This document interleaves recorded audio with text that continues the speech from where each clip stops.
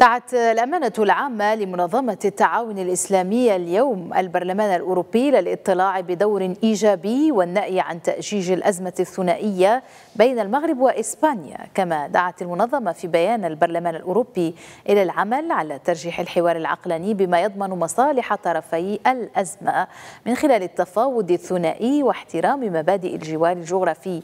إثر صدور قرار من البرلمان الأوروبي بشأن الأزمة بين المملكة المغربية وإسبانيا وما أفرزته من تداعيات أكدت دعمها الكامل للمغرب لافتة إلى أن الرباط ظلت ملتزمة بسياستها البناء الحد من الهجرة غير الشرعية والاتجار بالبشر.